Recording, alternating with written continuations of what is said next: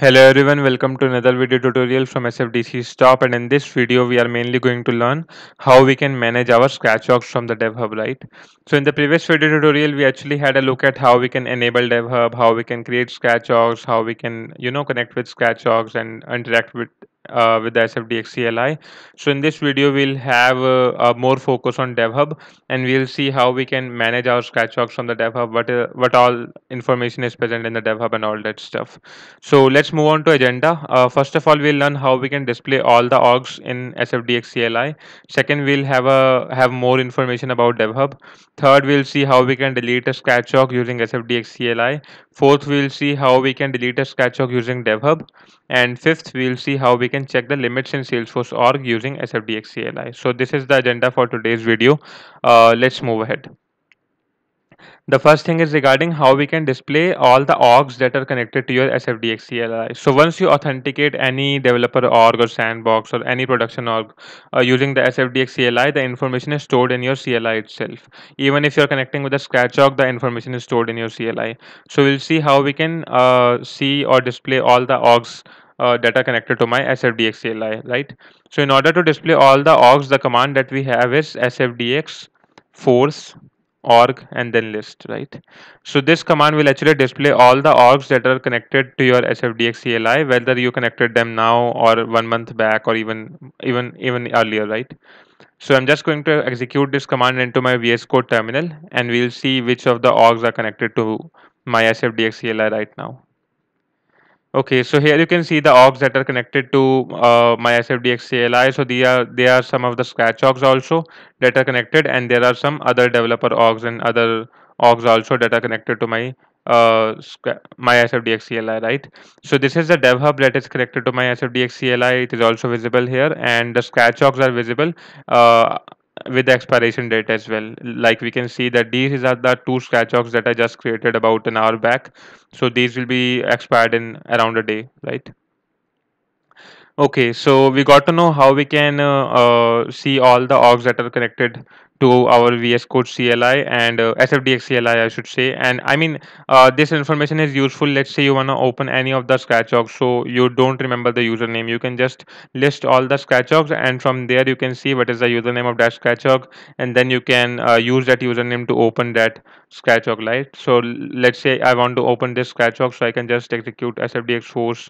Um, org open command and I can give the username of my scratch org which I just copied from here right Okay, so the next thing that we are gonna have a look at is the information about DevHub. So I just opened the scratch org right now executing this command. So let's just clear our screen and uh, I'm going to close this tab because we are focusing on DevHub in this video. So uh, when you enable DevHub in your developer edition or professional uh, enterprise edition, I should say, or any um, any other edition of Salesforce, you just have two objects that are automatically enabled in your Salesforce org. The first object is regarding active scratch orgs, right? So this object mainly consists of all the information about your scratch orgs that are currently active uh, that are currently active and that are related to this particular dev hub. So right now, if I just uh, execute the previous command again in my CLI, uh, which was regarding force org list, I'll I can show you that there are four orgs that are currently active uh, and connected to my CLI. So there are four scratch orgs that are active and connected to my CLI, right? But uh, out of these four orgs, these two orgs are the one that are connected to my dev hub that I'm showing here. So if I just check out uh, one of the username of this org, like if I just copy this username and I check out the username here, uh, I think I need to go to the second one. So if I just check out the username here, we can see here that uh, this uh, username is or this scratch org is particularly linked with this particular dev hub, right? So active scratch orgs mainly consist of all the information about the scratch orgs that are currently active, and it consists of some general information like which instance my scratch org is using, which is the developer, which is the edition of my scratch org, how many days it will be active, which is the created date of the scratch org, and all that stuff. And if you have specified features like multi-currency or other features that those features will also be listed here right Okay, and the second object that is automatically enabled when I enable my DevHub is Scratch Org Infos. So this Scratch Org Infos object mainly consists of all the information about my Scratch Orgs that I created using this particular DevHub. So it doesn't matter whether those Scratch Orgs are active or not. All the information about those Scratch Orgs will be present in Scratch Org Infos object, right? Like uh, right now you can see there are two Scratch Orgs that are active uh, uh, from this particular dev hub. So these active Scratch Orgs are also shown here. However, there are a number of Scratch Orgs that are deleted uh, and that, that I created in the past. So the infos about uh, that particular Scratch Orgs are also shown in the Scratch Org info object, right? So uh, here also we have some general in information like when it was created, when it was expired, when it was deleted. So you can just uh, have a look at all the information regarding your Scratch Orgs, right?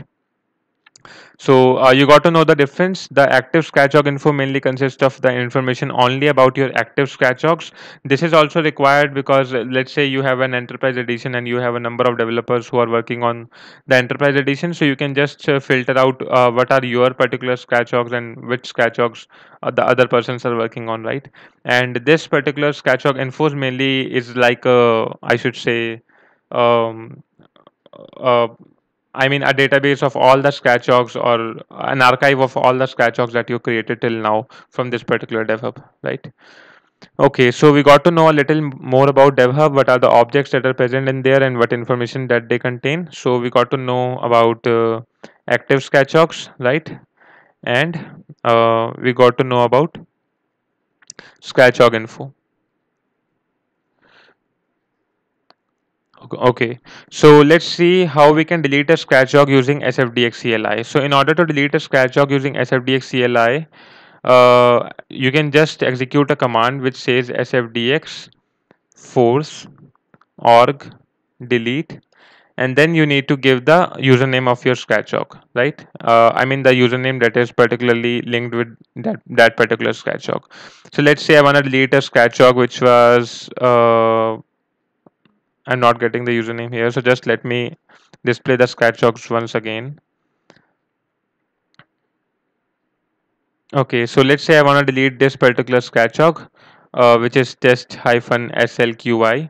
So I'm just going to clear this up and uh, I'm going to write sfdx force org delete and then hyphen u and then the username of my Scratch Org, right? So this uh, command will actually delete your Scratch Org and uh, it will actually mark the Scratch Org for deletion, I should say. So here you it is asking me a question that do you want to enqueue the Scratch Org with the username this for deletion? Are you sure? You just need to press Y and then you need to press enter, right? So it will automatically mark this particular scratch Scratchog for deletion. So let's say uh, i mean sometimes sometimes it happens that we create a scratch Scratchog for 30 days but we got to know that uh, oh we don't need to use that scratch Scratchog for 30 days. So we can't wait actually. You know uh, in a developer edition uh, we can have only three active scratch Scratchogs so we can't actually wait for 30 days for that particular scratch Scratchog to expire and then to shift to a new Scratch Org you you you should have the flexibility to delete to delete that manually right? So uh, using this particular command you can delete a Scratch Org which is sfdx force org delete and then the username of your Scratch Org right? Okay so let's check out our dev hub and let's see whether this Scratch Org is deleted or not okay? So uh, if I check out my dev hub and if I just going I'm going to refresh this particular list view I can see here that one Scratch Org is deleted and I have only one active Scratch Org right now in my dev hub right Okay, so uh, let's see how we can delete a Scratch Org using DevHub. So this was the uh, option to delete a Scratch Org using SFDX CLI. But in case you want to delete a Scratch Org using DevHub, you can simply go to uh, your DevHub and you can uh, check out the active Scratch Orgs there. And in order to delete a Scratch Org, you all you need to do is just to click on this button and you need to delete this active Scratch Org record and once you are deleting the active Scratch Org record your active Scratch Org is automatically marked for deletion. You don't need to do anything else. So uh, let's say if I just uh, check out the active Scratch Orgs that are linked to my dev hub I can see here that there is no active Scratch Org and I, I can also check out the limit from the CLI itself right so we got to know that how we can delete a scratch Scratchog from the dev hub but we can also check the limits on the Salesforce org using SFDX CLI. So what is the command to check the limits? In order to check the limits, you can uh, execute this command, which is SFDX force and then limits and then API and then display and then you need to give the username of your scratch org right? Or username of your org i should say. So right now uh, what i did i actually deleted a scratch org from my dev hub and now i'm going to i want to check out actually right? That uh, whether my uh, scratch orgs are deleted properly or not or whether they are counted against my limits. So one way to check is to create again three scratch orgs and we'll see how we can i mean uh, uh, either we are able to create a new scratch org or not and the other way is to uh, run the limits command and to check out whether my limits uh, i mean whether the scratch orgs that are deleted are counted against the limits for my dev hub or not right? So i'm just going to paste this command and for the username i'm going to add the username of my dev hub. So the username of my dev hub is sfdc stop dev hub. And i'm going to press enter so what this command will do, it will actually show me all the limits that are associated with my devhub org. So you can see here, if I just uh, scroll up a little, these are all the limits that are uh, associated with my devhub org. So here I can see uh, the active scratch orgs that are present in my uh, that are present or I should say are available that I can create from my devhub is 3 and the maximum scratch orgs that I can have uh, active in my devhub is also 3 because this is a developer edition. So that's why the maximum scratch orgs that I can have as active is 3 and the remaining scratch orgs are also 3 right? And uh, if I check out uh, some other information like uh, if I just check out the daily scratch orgs info. So in a developer edition you can have uh, you can create at, um, at max 6 scratch orgs in a day. And uh, the remaining limit that I have is 4 because uh, before before actually starting this video I created two scratch orgs to show you how you can delete it from from the SFDX CLI as well as from the DevHub, right? So uh, right now I have four scratch orgs remaining that I can create uh, today itself, and the total scratch orgs that I can create within a day is number six. So we can check out, I mean, uh, whether my scratch orgs, I mean, uh, if you are just uh, deleting it from the CLI, it just shows us a message that your scratch org is marked for deletion. But in case you want to be sure, you can just uh, run this limits command and you can check out whether you are whether your uh, scratch orgs are, are counted against limits or not, right? So I'm just going to pause this video for a second and I'm going to create three more scratch orgs and then we'll see how uh, how the SFDX CLI reacts when we are hitting the limits, right? Okay, so what I did, I actually created three more scratch orgs using uh, sfdx force org create command. And if we switch over to our dev hub and we check out the active scratch orgs, we can simply see that we have three more scratch orgs that are currently active in our dev hub, right? So let's say I want to create one more scratch org. So I'm just going to run this command again, which is sfdx force org create to create a scratch org but uh, i have already created three scratch orgs for my for my developer edition that are available.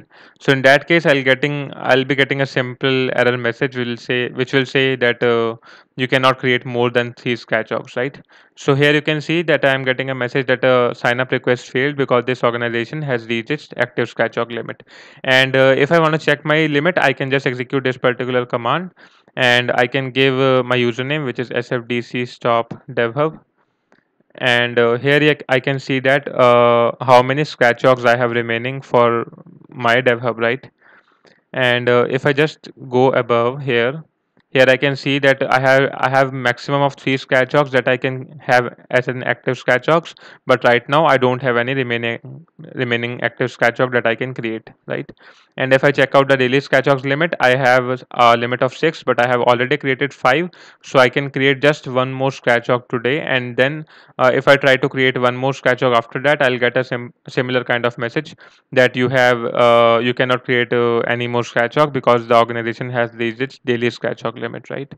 So this is how I mean you can manage your scratch orgs from the dev hub as well as you can manage your scratch orgs from the SFDX CLI and uh, uh, all the information is present in your dev hub which is regarding active and scratch sketchog infos. Okay, so before ending this tutorial, I just wanna uh, show you one more thing Uh, this is regarding the Scratch Org allocations that are present in different uh, editions of Salesforce, right? So I'll just give uh, this document link in the description of the video, but uh, uh, just to show you very quickly, in the developer edition or trial edition of Salesforce, we have three active Scratch Org allo allocation and six daily Scratch Org allocations. So we saw the difference between the two, right? In the enterprise edition, we have 40 active Scratch Org allocations and 80 daily Scratch Org alloca allocations. Similarly, in case of unlimited edition, we have 100 and 200 uh, active and daily scratch Scratchok allocations. And in case of performance edition, we have 100 and 200 active and daily scratch Scratchok allocations, right? Uh, okay, so uh, this is uh, uh, all about uh, Scratch Orgs and DevHub. And in the next video, we are going to learn how we can set up a Scratch Org for managed package development. Because you know, uh, in case of Scratch Org, we have a very very good feature if you are developing a managed package or if you are going to develop an Apache app. So we'll see how we can set up a Scratch Org for managed package development and what is that particular feature that I'm talking about in the next video. Till then, have a good day. Bye bye.